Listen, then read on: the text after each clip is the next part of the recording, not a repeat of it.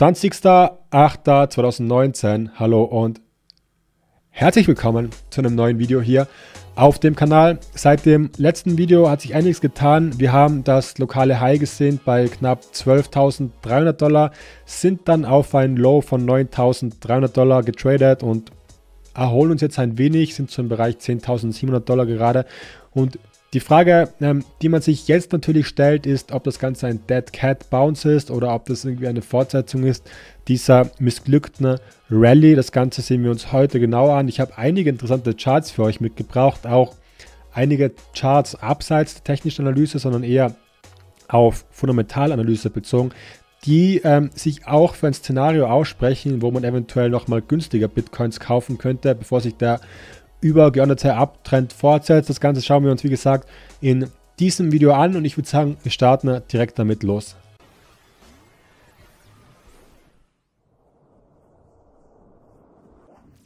starten jetzt hier direkt am Bitcoin-Chart, wo wir gerade eine Reaktion der Käufer sehen. Wir haben gerade diese zwei Tageslows aus dem Markt genommen und sehen jetzt eine explosive Reaktion der Käufer. Das könnte also gut sein, dass wir nochmal diese Formation nach oben auflösen, bevor wir eventuell wieder eine größere Korrektur sehen. Das Ganze ist jetzt ähm, noch schwierig zu bewerten, da es jetzt gerade in diesem Moment passiert ist. Ich habe noch zwei Positionen offen. Ich habe einmal diesen Bitcoin Short offen und einmal diesen Ethereum Short.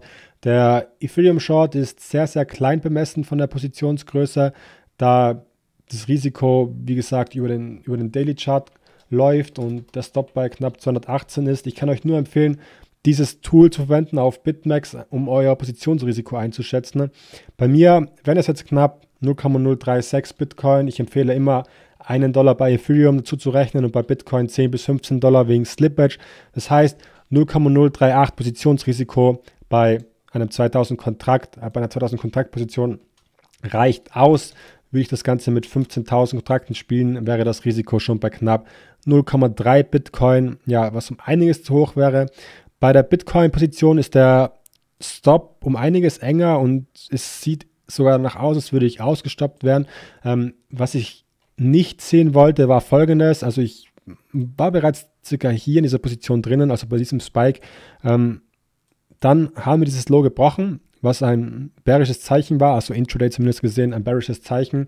Ähm, haben dieses Low regetestet, haben den Stop nach unten getrailt, ähm, haben das Low ein zweites Mal getestet und sind dann nach unten ausgebrochen. Jetzt sind wir wieder darüber. Ähm, es sieht so aus, als wäre es erstmal ein Fake-Ausbruch.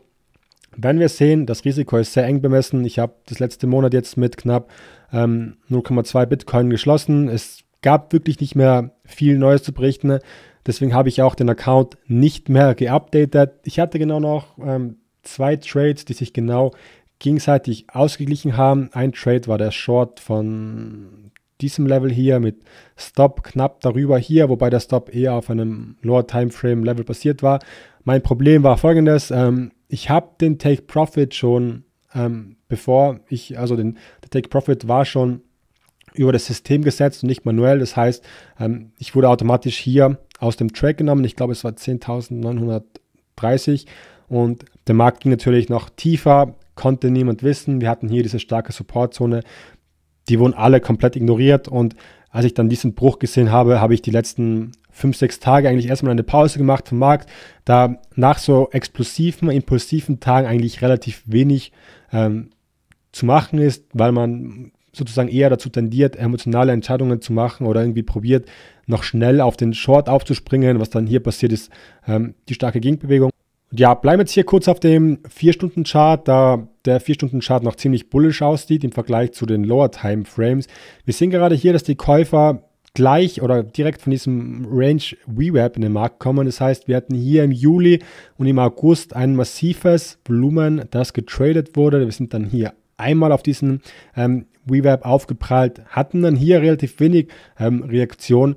Das war auch so der Punkt, der mich so gestört hat in diesem Abverkauf, dass wir auf kein Level eine Reaktion gesehen haben.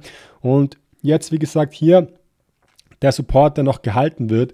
Ich bin noch ein wenig skeptisch, aber ich könnte mir vorstellen, dass wir noch einen entscheidenden Push sehen zu 11.200 bzw. 11.200 hoch und von dort sollte sich dann entscheiden, ob wir denn diese Range nach oben auflösen oder ob wir denn das fürs Erste in dieser Range bleiben und vor allem diese Lows noch abarbeiten. Ich finde es wirklich sehr, sehr verdächtig, dass der Markt genau ähm, zwei dieser sehr, sehr sauberen Swing Lows ähm, einfach offen lässt.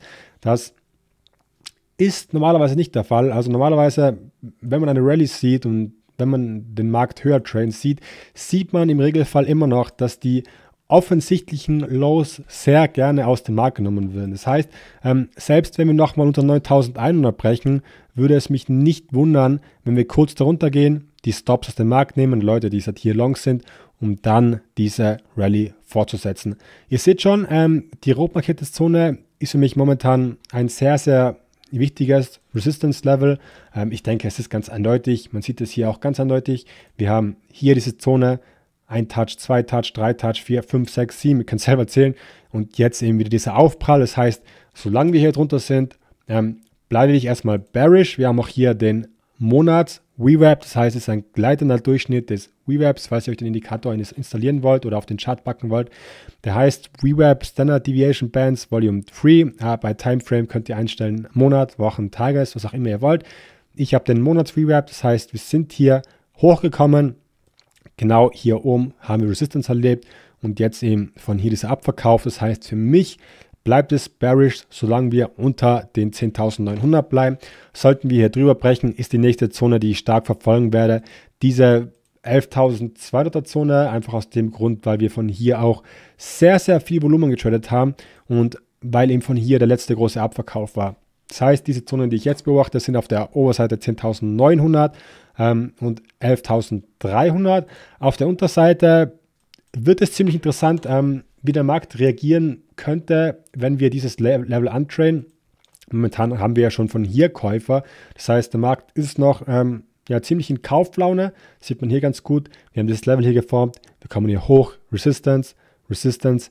Brechen hier durch. Support. Solange wir, solange wir hier Support haben, ist ein Szenario auf 11.200 definitiv möglich. Einfach auch, einfach auch aus dem Grund, weil wir hier ähm, relativ wenig ähm, ja, Resistance geformt haben auf dem Weg nach unten. Jetzt werdet ihr euch fragen, warum ich denn dann short im Markt bin. Ähm, ist wie folgt, ähm, der Spike sieht jetzt natürlich nicht gut aus, aber vor dem Spike sah es schon besser aus. Meine Reaktion oder mein Anreiz auf den Short war folgender. Wir haben diese Range gestern gehabt von 9.30 Uhr bis ähm, 23.30 Uhr am Abend gehalten. Das heißt, ziemlich aussagekräftige Range. Wir brechen hier darüber, kommen hier zurück, formen hier Support, brechen darunter. Das war mein ähm, Short-Signal. Solange wir unter dieser Range sind, im 30-Minuten-Chart bleibe ich Short. Auch wenn die Reaktion hier jetzt schon eher bullish aussieht. Ähm, mein Target wäre erstmal gewesen, dieses Low hier. Das heißt, das Risk-to-Reward-Verhältnis ist hier sehr, sehr gut bemessen. Wenn ich das Ganze hier anlegt, ähm, sollte ich ausgestoppt werden, ist es definitiv äh, kein Drama für mich, da es für mich wirklich ein Trade ist, der sehr, sehr gut ins System passt.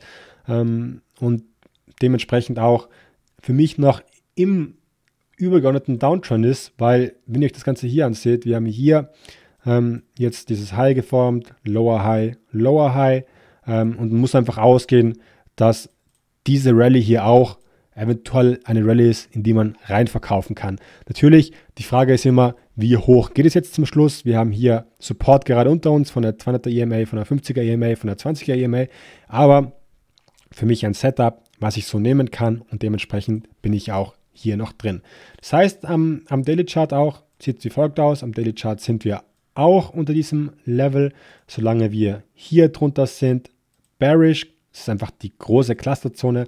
Am Daily Chart sehen wir es noch besser, solange wir hier drunter sind. Bearish ähm, und ich gehe davon aus, dass wir eventuell einen Run auf diese Lows sehen werden, da wie gesagt für mich das sehr, sehr clean aussieht und ich mir sehr, sehr gut vorstellen könnte, dass wir einfach diesen kurzen Stich darunter machen auf dieses 8700er High und von dann wieder nach oben trainen.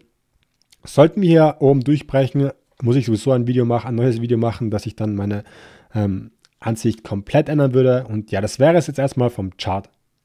Und hier jetzt, wie im Intro schon angesprochen, noch die zwei fundamentalen Charts unter Anführungszeichen. Wir haben hier erstmal die Korrelation des ähm, Grayscale Bitcoin Trusts, also einer Aktie, ähm, die eben von Grayscale ausgegeben wurde und eben die Korrelation mit dem Bitcoin-Preis und laut diesem Chart sieht man hier schon bei dieser Korrelation, dass die Investoren in, im, Grace, im Grayscale Bitcoin Trust ähm, den Bitcoin derzeit überbewertet sehen und eben ähm, auf ein tieferes Szenario von Bitcoin spekulieren. In dem Fall hat dieser Tweet-Ersteller ähm, geschrieben, dass er Bitcoin laut dieser Analyse derzeit überbewertet sieht und dass er zwischen 8 und 10k traden sollte. Ist natürlich auch wieder immer nur so ein Anhaltspunkt, den man nehmen kann. Ich finde die Korrelation natürlich sehr interessant und oft auch schon aussagekräftig. Wir hatten hier ähm, die Phase gehabt, wo der Grayscale Bitcoin Trust massiv überbewertet war, dann dieser Drop hier zusammen mit dem Bitcoin Drop, dann dieser Drop hier, wo Grayscale auch vor dem Bitcoin stark gedroppt ist. Ja, ist etwas, was man definitiv im Auge behalten kann und was man eben zusätzlich zu den Charts heranziehen kann. Was ich aber noch viel interessanter finde, ist folgender Chart. Wir haben hier im Hintergrund wieder zwei Linien. Wir haben einmal die blaue Linie und einmal die rote Linie. Die rote Linie ist der 30-Tages-Median der aktiven Bitcoin-Adressen und die blaue Linie der 30-Median, 30-Tages-Median des Bitcoin-Preises. Man sieht hier wirklich ähm, sehr, sehr stark die Korrelation zwischen den aktiven Adressen und dem Preis.